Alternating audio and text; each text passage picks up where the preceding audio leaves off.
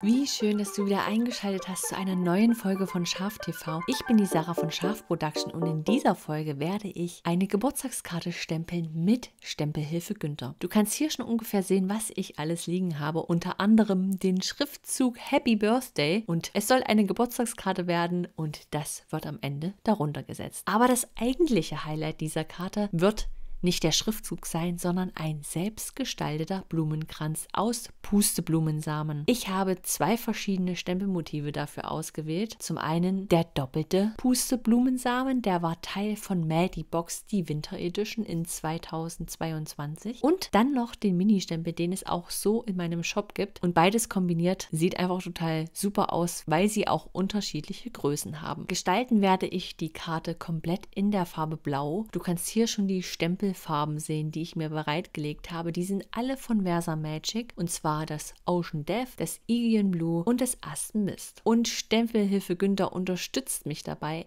einen exakten Kreis zu kreieren. Ich habe mir hier die größte Größe ausgesucht. Das sind 7 cm. Die passen also super auf eine normale DIN A6-Karte drauf. Und indem ich die Schablone einfach immer ein kleines Stückchen weiter drehe, kann ich somit diesen Kreis kreieren. Ich rechne mir hier auch gar nicht großartig die Abstände aus, sondern gehe einfach nach Augenmaß. Ich sehe ja immer, wie weit ich den Kreis weiter drehe und was von der Pusteblume noch da ist. Und da ich den Stempel eh in der Hand immer etwas drehe, dass er nicht gleich abgestempelt ist, sondern unterschiedlich, sodass es ja wie ein schöner Kranz am Ende wirkt und nicht zu unnatürlich ist, ist es auch gar nicht so schlimm, wenn man das einfach ja so per Augenmaß macht. Mit dem größeren Stempel, den doppelten Pusteblumensamen, habe ich mir jetzt erstmal einen Grundkreis geschaffen und nehme nun den Mini-Stempel zur Hand und gehe da mit einem anderen Blau in die Zwischenräume rein. Und ich drehe das auch immer so, dass es quasi nicht im gleichen Segment in die gleiche Richtung zeigt, sondern so wirklich schön durcheinander ausschaut. Da kannst du am besten vorher immer schauen, wie rum du den Stempel halten musst, sodass das am Ende so einen schönen, kontrollierten, durcheinander wirkenden Kranz ergibt gibt. Zusätzlich verwende ich jetzt noch drei verschiedene Mini-Stempel. Das ist einmal der Mini-Punkt, einmal der Mini-Punkt Outline und die Mini-Farbsplatter. Da gehe ich einfach noch mit verschiedenen Blautönen in den Kreis rein und schaue, wo vielleicht noch eine freie Stelle ist und stempel das dann dort ab. Das sollte aber noch nicht das Ende des Kranzes gewesen sein, denn ich möchte ein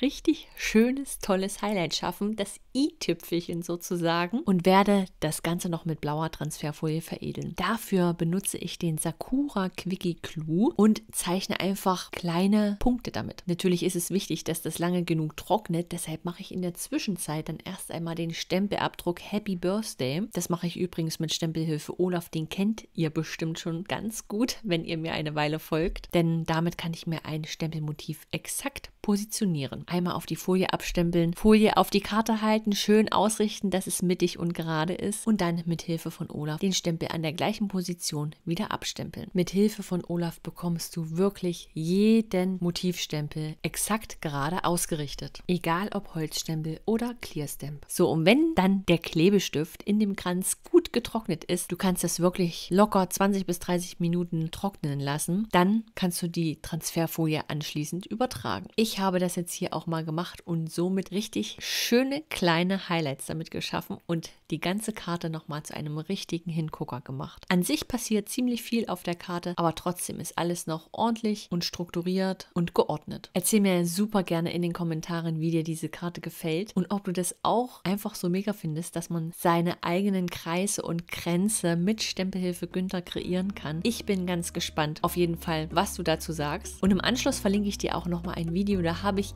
ebenfalls schon mal was mit Stempelhilfe Günther geschaffen, aber das Ergebnis sieht ganz anders aus. Schau dort also auch gerne vorbei.